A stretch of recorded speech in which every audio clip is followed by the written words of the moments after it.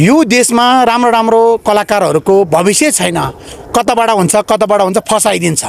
यदि हामी कलाकार स्ट्रङ भइदिएको भए कुनै पनि पहल ननिस्किन्जेल हामी हलमा फिल्मै हेर्नु नजाने सुटिङै नगर्ने भनेको भए सायद पहल निस्किसक्थ्यो होला। एकजना व्यक्तिको लागि विभिन्न कलाकारिता यो तपाईँ तपाईँको भन्नु चाहिँ फिल्म बनाउने फिल्म इन्डस्ट्री होइन जस्तै फिल्मकर्ताहरू हुन्छ उहाँहरूको पनि एउटा व्यवसाय नै हो नि एकजना व्यक्तिको लागि व्यवसाय छोडेर छोडेर हिँड्ने। यस्तो अब व्यावसायिक भन्नुमा त यस्तो हुन्छ के? एउटा कलाकार हो नि एउटा टिम हो नि त होइन? माया गर्नुपर्ने टिमलाई त पहल भनेको एउटा हिरो हो। पहलको अगाडि जो पाए त्यो हिरो चल्नु गाह्रो हुन्छ। अब पहल जेलभित्र गएपछि हुन्छ नि त अब हिरोहरू आयो नि त अब बजारमा होइन? पहलको अगाडि त पहल हिरो भइन्जेलसम्म पहल रेप केसमा नफसिन्जेलसम्म एक छापे थियो त। होइन? अहिले त कति हो? कति नि? टन्नै छ नि। अ त मच्यो मच्यो मच्यो थच्यो भने जस्तै अब दर्शक पनि कति उफ्रिने कानुनभन्दा ठुलो त दर्शक त होइन। होइन। जनता त होइन। होइन? एउटा नाबालक न अठार उन्नाइस वर्षको चाहिँ एउटा भनौँ न एउटा महिलाले अब महिलाले जे बोलेको यो देशमा कानुन त्यही हुने रहेछ। पुरुषको लागि त कानुन त म त मान्दै मान्दिनँ। कानुनै ठिक छैन यो देशको? जसले जे भनोस् ल वाइबडनमाथि पुरुषहरूको लागि कानुन बनेको कानुन ठिक छैन। वाइवा डन पनि एकदम भाइरल व्यक्ति हो होइन? भाइरल व्यक्ति हो। विभिन्न मिडियामा हामीले देख्न सक्छौँ र विभिन्न सिरियलहरू फिल्मतिर पनि वाइवा डन छ होइन? छ र वाइवा डन उहाँ काभ्रेदेखि धुलीखेलदेखि काठमाडौँमा एउटा इन्टरभ्यू दिनको लागि आइपुग्नुहुन्छ। र एउटा कतिपयको भनाइ पनि छ कि एउटा इन्टरभ्यू दिनको लागि वाइवा डनको बाना मात्रै उसको त अर्कै हो कि? होइन? र- प्रश्न र- खोलाउनुहोस्, के र- अर्कै, रहस्य के अर्कै? र- रहस्यमय कुरा पो हो। छ कि? भन्ने कुराहरू पनि आउँछ। होइन। के रहस्य छ? के बहाना गर्छ? काभ्रेदेखि काठमाडौँसम्म एउटा इन्टरभ्यू दिनुको लागि वाइबडन आउँदैन। अहिले खिचिराख्नु भएको छ सातवटा क्यामेरा छ त्यहाँ। तपाईँहरू विचार गर्नुहोस्। होइन? तपाईँहरूले बोलाएर मात्र आउने हो। वाइबडन त्यो टिभीको अनुहारै नदेख्ने क्यामेराको अनुहारै नदेख्ने काभ्रेदेखि एउटा इन्टरभ्यू दिनु। काठमाडौँसम्म धाएर आउने त्यो चाहिँ नभन्नु होला। खबरदार। पत्रकारमा आउँदैछु।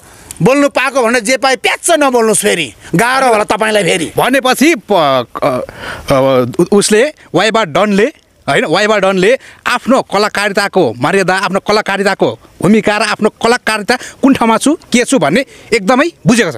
एकदम बुझेको छु। तपाईँहरूले काभ्रेदेखि एउटा इन्टरभ्यू दिनुको लागि एउटा क्यामेराको लागि चाहिँ म काठमाडौँदेखि आएको होइन। हे गन्दै जानु सातवटा क्यामेरा छ त्यहाँ। विचार गर्नुहोस्। तपाईँहरूले दुई दिन तिन दिनदेखि बोलाएर मात्र आएको हो। भनेपछि त्यो होइन। त्यो बजारको हल्ला होइन। त्यो हल्ला हो यो। सबै। स्पष्ट हुनु पर्यो। स्पष्ट हुनु पर्यो काठमाडौँसम्म वाइबाट के भन्नुभएको प्रश्न खोलाइदिनुहोस् मलाई। ल भनेपछि हामी यसै सन्दर्भमा गयौँ होइन? र पछिल्लो समयमा तपाईँ पनि जब पल्साको हजुर। नवलपुरको घटना नआउन्जेल विभिन्न नवलपुरको चाहिँ फैसला नआउन्जेल विभिन्न व्यक्तिहरू विभिन्न समाजहरू बोलिराख्नु भएको थियो। हजुर। यो पछिल्लो समयमा उहाँहरू नबोल्नुको कारण चाहिँ के हो? नबोल्नुको कारण त पहिला निस्किन्छ कि भनेर उहाँहरूले बोल्नुभएको हो। अब थाकिसक्यो के? कति बोल्नु? निस्किने होइन। होइन?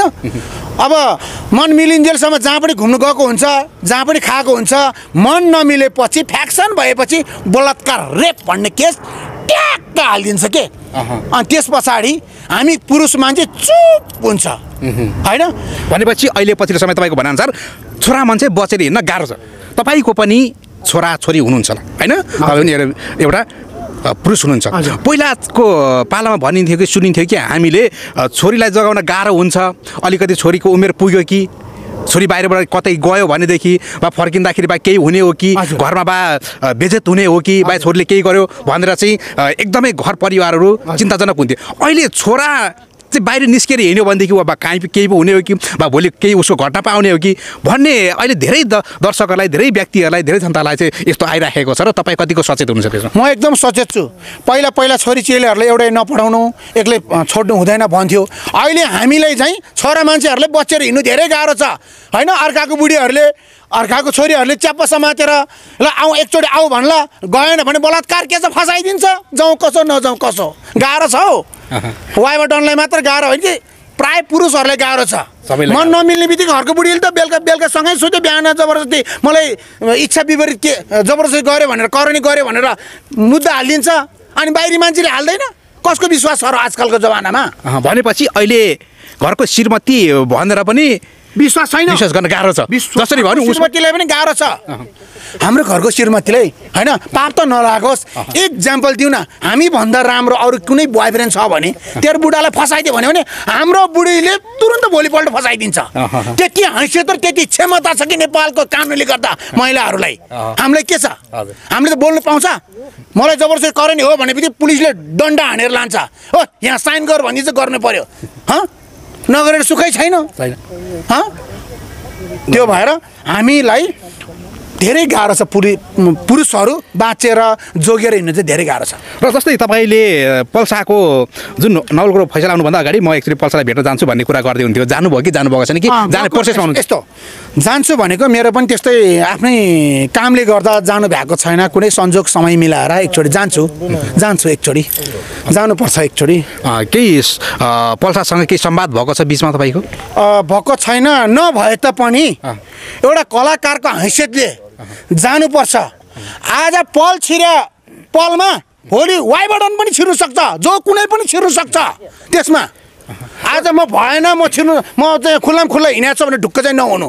र जस्तै यो पल्साको केसबाट धेरै व्यक्तिहरूले सिक्नुपर्ने हो र पल्सा पछाडि अहिले सन्दीप पनि तत्काल जुन पल्साको फैसला नवलकुरो आयो त्यही दिनै सन्दीप पनि फसेका छन्। र वेस्टबाट के सन्दीपलाई चाहिँ तपाईँ के भन्न चाहनुहुन्छ किनकि पल्सा फसेको त लगभग पाँच छ महिना पछाडि सन्दीपको त्यस्तो काण्ड आइदियो हजुर। यो सबै खेल हो यो सबै राजनीतिक हो यो देशमा होइन? तपाईँले एउटा बुझ्नुहोस् न। तेत्तिस तोला सुन लुट्ने चोर्ने ढाँटे भन्सार छलेर ल्याउनेलाई चाहिँ हतकडी यस्तो लगाएको छैन। एउटा सन्दीप लामछाने एउटा कलाकार एउटा टिक क्रिकेट होइन उस त्यसलाई चाहिँ यसरी बाँध्ने हो। ए त्यस्तो पनि हुन्छ। देशको कानुन नेपालको कानुन। फट। सोच्नै नसोच्ने कुराहरू भइरहेको छ कि यहाँ।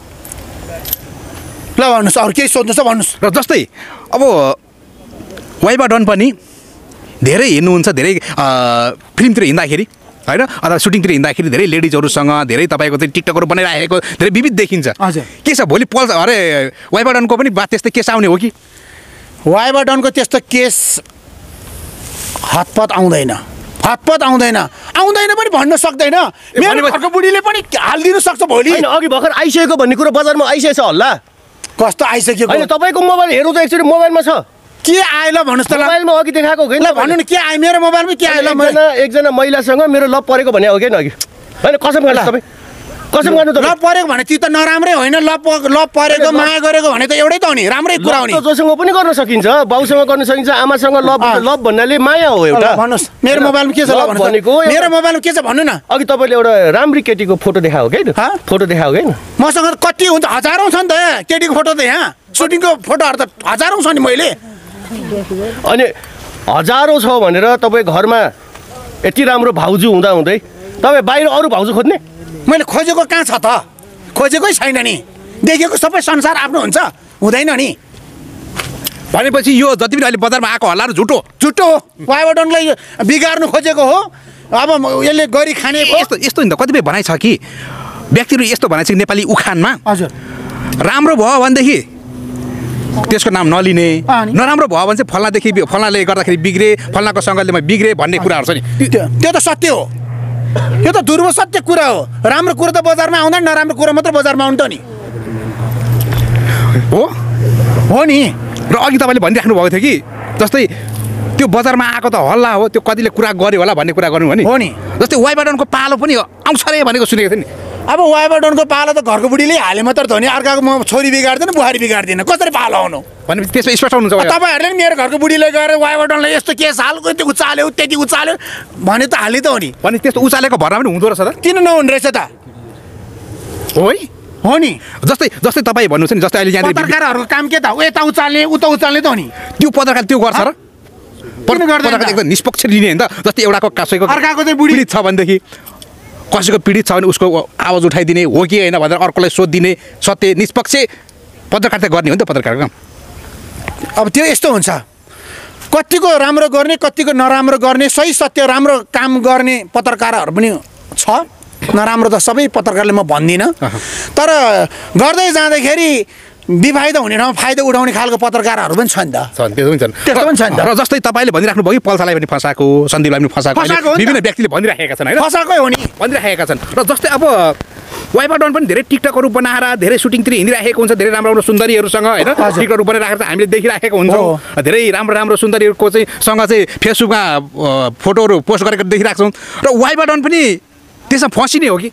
म फस्दिनँ फोटो खिच्यो भन्दैमा फस्दैन होइन? यो हो नि त जस्तै सन्दीपलाई पनि भनेको छ कि पल्सालाई पनि भनेको छ। उसले लगेर बाहिर होटेलमा पो लग्यो त भित्रको कुरा त देखिएन तर किन फसायो भनेछ नि त? त्यो त्यो सम्भव छैन मबाट सम्भव हुँदैन यो।